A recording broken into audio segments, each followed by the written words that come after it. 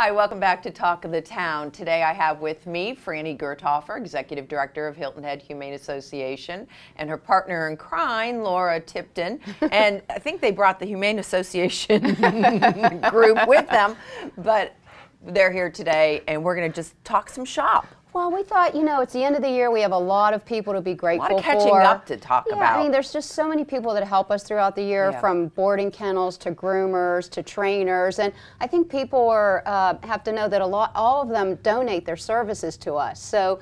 Um, we're very grateful. very yes, important. We're, we're, very, very grateful. But we did bring some shelter um, animals today, just because we thought if if they could get home for the holidays, why not? Right. So, so Laura has Ta-da. Ta-da. Ta-da. I'll have to like, say it that way. Ta-da. Ta-da. she uh, just went and had a makeover, and her nails are red and green, which you can't oh really my see right now. goodness, but they are. They're Christmas. Perfect for Christmas. She's four years old. She came to us from Beaufort County Animal Services. She was heartworm positive when she arrived but she's been treated now, and Sweet. she's just a loving family pet. Yeah, for very just almost sweet, any calm, family she'd really great calm. for. Well, she is calm and she gets on with other animals, so she's like the perfect pet, honestly. Mm-hmm. Yeah, yeah. just adorable. And so, Franny, who do you have? You you have a little one. Okay, yes. So this is Holly. Okay. And um, Holly was actually found in Bluffton, and Holly was um, matted all the way over so that you couldn't see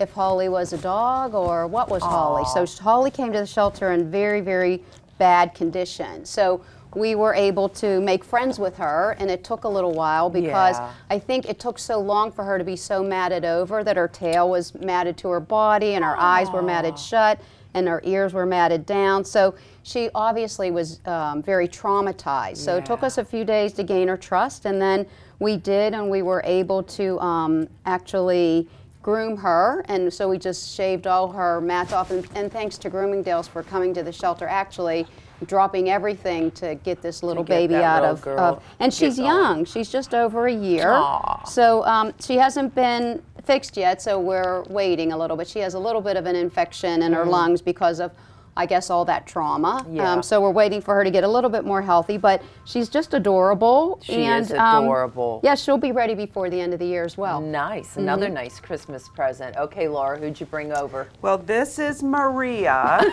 our three-toothed uh, wonder dog. She had many, many damaged teeth, so they had to be removed. So Quite she a has tongue there, three, Maria and that's why her tongue sticks out. She's very, very friendly and very sweet. She does not care for cats. Um, which is her uh, kind of our, her only downside. She loves to be with people. She wants to spend all her time just glued to your side. She will make such a great companion. One of our um, famous volunteers that we always thank this time of year is looking into possibly taking her home when we get her medical items sorted out, which we're just all couldn't be. It's like a friend, a, a member of the family adopting one of the dogs. It's just Yeah. so wonderful. We're so hopeful. So you really have some some nice adoptions. Yeah, At so we- the at the shelter. We do, and we did bring a few cats um, that you can tell them about. we we brought two little kitties. Um, they're, uh, one is a gray and one is a tabby. They're three months old. They were found in an air conditioning duct Aw. when they were just about a little bit over a pound. So they've been at the shelter for a while till they got you know big enough to Right. be spayed and spayed or neutered. And um, they're just adorable and ready to. They could no, go Franny. together. No. Stop looking at me with those doggy eyes. No. One year after all this time together, there'll be a time when I can give you an animal I of your choice. I know. I know. A gray kitty would go with your dress. It would go with my dress. Yes. So it is the end of the year.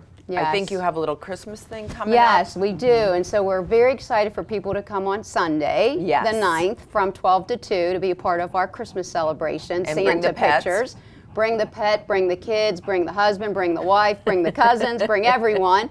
Um, and we do have a lot of vendors coming just with some Christmas um, potential present gift ideas. Nice. So and they'll be set up in the front yard, and, and it's it's very very festive. So we're re- really excited about that. Um, and we have favors to give away, and there's just a, a whole lot of Christmas cheer. So we're really looking forward to everybody stopping by um, between those hours, and, and it's it's all free. So we, we do want to present those pictures um, to the community as a thank you for supporting us throughout the year. Very nice. And I can't believe it, but we're over, as well as I'm not going to see you till the next year. Yes. So crazy. I know. So see you next year. See you next year, and See ya. thank you for everything. Yes, You're thank always you. welcome. Mm-hmm. And we'll be right back with Talk of the Town.